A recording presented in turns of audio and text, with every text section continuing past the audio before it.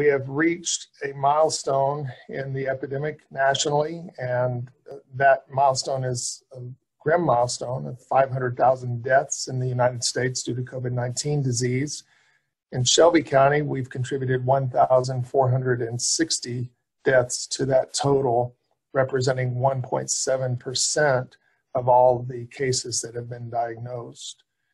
But we do have some good news. Our active case number is down to 1,531 active cases right now, meaning there's been 1,531 cases diagnosed in the last two weeks. So that's a big improvement over where we, we have been during the surge.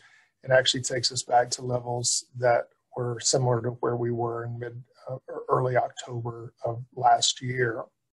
As far as the total number of cases reported, 87,088 cases have been reported in Shelby County.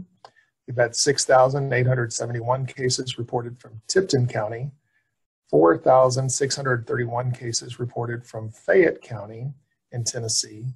We've had 5,263 cases reported from Crittenden County in Arkansas, and 19,441 cases reported from DeSoto County in Mississippi.